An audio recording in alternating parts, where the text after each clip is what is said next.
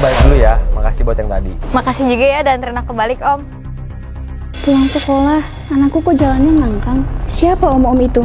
Kok dia nganterin anakku balik? Ya Allah, perut aku sakit banget. Kok anakku nangis? Dia sakit kenapa? Kepala sekolah? Halo, Assalamualaikum Pak Kepsek. Saya mau bertanya, kenapa ya anak ibu sudah seminggu ini bolos? Apa? Tiap pagi, aku selalu lihat dia sekolah. Ada apa sama anakku sebenarnya? Apa jangan-jangan anakku simpanan om-om? Anak kurang ajar. Sekarang jujur, ngapain aja kamu selama ini? Maksud ibu apaan? Siapa om-om yang nganterin kamu pulang tadi? Iya, aku lagi pengen sendiri, Bu. Keluar. Keterlaluan. Memang benar ada yang dia sembunyiin. Pagi, Om. Siapa kamu?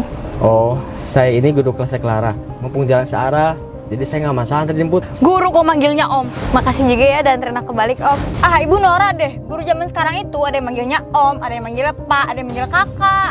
Itu benar bu, zaman udah berubah. Nggak kayak zaman kita sekolah dulu.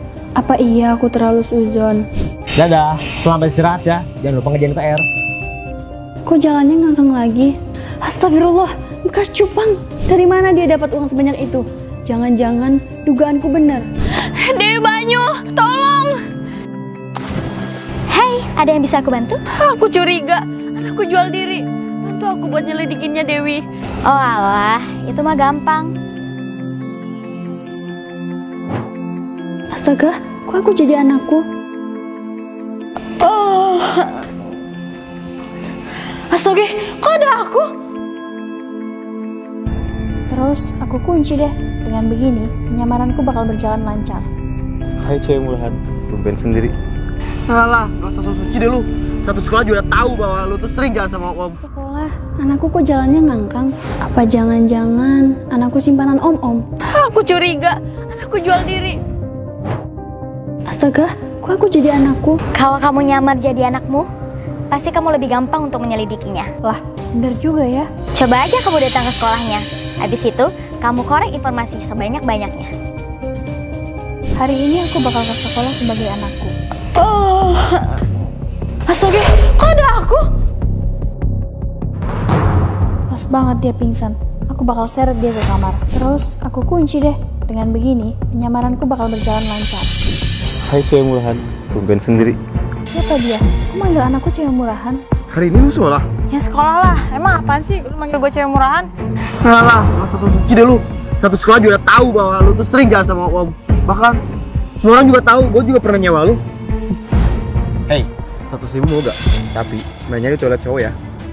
Mau dong. Apa? Anakku jual diri di sekolah. Kurang ajar. Jangan pernah ya lu nyentuh gue lagi. Heh, kan lu sendiri yang sudah nawarin diri. Dasar cewek murahan. Jangan pernah panggil gue cewek murahan. Lu sadar diri ya. Kenapa lu jual diri? Lu nggak bisa nyelamatin ibu yang penyakitan itu. Penyakitan? Aku gak sakit apa-apa. Karena lu udah hancurin umur gua. Gua hancurin muka lu. Dia kan, Berani kamu sentuh baby saya. Silence kamu pakai mobil. dia bilang baby saya. Kamu nggak apa-apa cantik. Enggak apa-apa. Berarti kamu masih kuat dong buat tiket ke hotel. Hotel? Kalau kamu nyamar jadi anakmu, pasti kamu lebih gampang untuk menyelidikinya. Aku gak boleh nolak. Aku harus menyelidikin siapa om-om ini. Ayo ke hotel. Aduh, kok om kasar? Ya bebas dong. Om kan udah bayar kamu mahal. Sekarang buka seragammu. Om bakal lebih kasar lagi. cantik. Besok boleh main kasar gak? Boleh dong. Ini bayarnya 200 juta ya? Ah, tolong gue putar sebelah. Santai, kamu gak akan mampus. Gak usah bawa nama Allah. Kamu udah Dapat uang sebanyak itu. Alah, gak usah suci deh lu. Satu sekolah juga udah tahu bahwa lu tuh sering jalan sama om. Berarti kamu masih kuat dong buat tiket ke hotel. Aduh, om kasar? Bebas dong. Om kan udah bayar kamu mahal. Sekarang buka seragammu. Om bakal lebih kasar lagi. Hei, kok teriak? Kamu udah janji kemarin? Janji apa om? Aku gak mau apa-ngapain. Cantik. Besok boleh main kasar gak? Boleh dong. Ini bayarnya 200 juta ya? Oh, jual situ dong mah, murah. Ini cash buat pegangan kamu. Sisanya om transfer sekarang juga. Makasih omku yang kuat dan tahan lama. Apa? Anakku dibayar 200 juta. Kalau kamu nggak mau om kasarin, balikin 200 jutanya. Dari mana dia dapat uang sebanyak itu? Ke mana kamu? Kalau kamu nolak, om bunuh kamu. Ah, dulu gue putar sebelah. Ah, jangan kabur. Kakiku. Mampus aku. Santai, kamu gak akan mampus.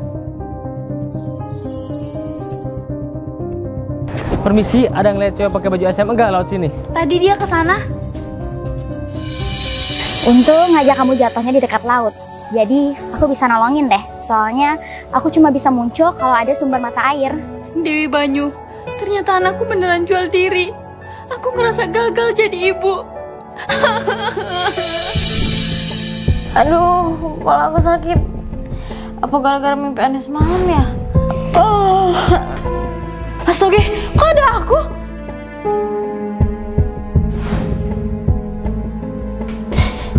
Kok dikunci? Ibu,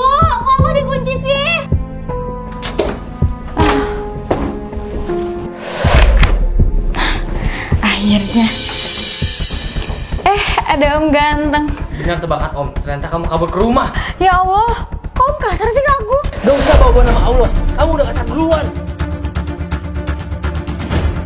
Aku adalah pria yang sangat berhasrat. Ini semua gara-gara istriku. Karena istriku nolak, aku pun berpikir untuk selingkuh. Saat itulah aku bertemu Clara. Besok boleh main kasar gak? Kalau kamu nolak, om bunuh kamu. Ah, benar tebakan om. Ternyata kamu kabur ke rumah. Ya Allah, kok om kasar sih ke aku? Gak usah bawa nama Allah, kamu udah kasar duluan. Aku adalah pria yang sangat berhasrat. Ini semua gara-gara istriku. Istriku, anak pertama kita kan sudah lahir. Ayo bikin anak kedua. Kamu gila ya? Aku ini masih masa nifas, belum boleh bikin anak lagi. Karena istriku nolak, aku pun berpikir untuk selingkuh. Saat itulah aku bertemu Clara. Ali kenapa nangis?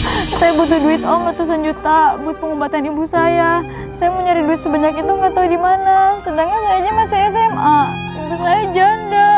Oh, ratusan juta doang. Kalau kamu mau nemenin om di hotel, kamu om kasih duit segitu. Om, aku nggak akan kenapa-napa kan? Justru, kamu bakal jadi kaya. Makanya, lalu bajumu. Sayang,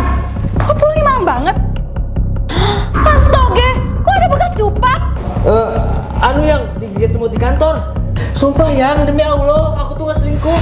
Tadi cuma urusan bisnis. Sampai aja kamu selingkuh, papaku bakal mencar kamu dari perusahaan. Dijamin, kamu bakal jadi gembel. Bodoh amat sama istriku. Demi daging muda, aku nggak takut. Mama,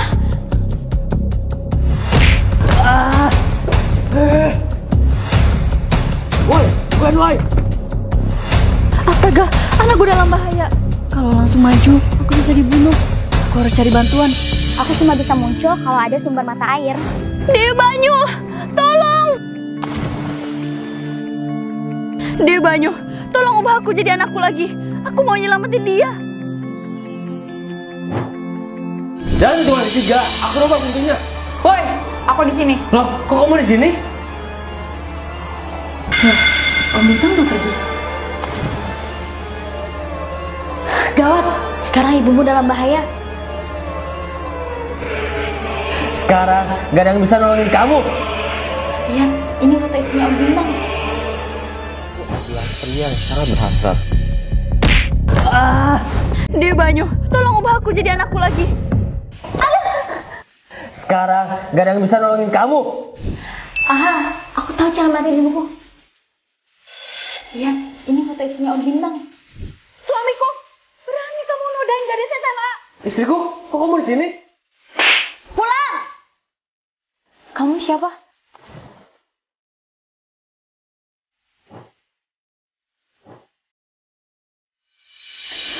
Anakku. Lihat, ini foto istrinya Om Bintang. Terus, ubah aku jadi tante ini. Om Bintang itu takut sama istrinya. Yeay, kalau begini ceritanya happy ending deh. Kok bisa-bisanya istri gue ada di sana sih? Halo suamiku, aku lagi di mall nih sama teman-teman. Nanti pulangnya malam ya. Bye. Tunggu, kalau yang barusan nelpon itu istri gue, terus yang tadi di rumah Clara itu siapa? Wah, ada yang gak beres. Aku harus balik lagi ke sana. Nak, jujur sama ibu, kenapa kamu sampai jual diri? Ini semua demi pengobatan ibu. Waktu itu, ibu sempat mendadak pingsan. Pas aku bawa ke rumah sakit, ibu saya sakit apa dok? Ibumu terkena penyakit langka, jadi dia nggak boleh stres. Untuk pengobatannya sendiri dibutuhkan biaya ratusan juta. Tadi kata dokter, ibu sakit apa? Karena nggak mau ibu stres, aku terpaksa bohong. Eh, ibu nggak sakit apa-apa kok. Saat itulah aku bertemu Om Bintang. Ali kenapa nangis? Kamu kenapa sih nggak cerita dari awal tentang penyakit ibumu? Aku kan bisa nyembuhinnya. Nah, beres deh penyakitnya. Kurang ajar. Kalian ngerjain aku ya? Hih, kamu ngapain lagi sih datang? Biar happy endingnya nggak keganggu, aku kutuk kamu jadi pisang.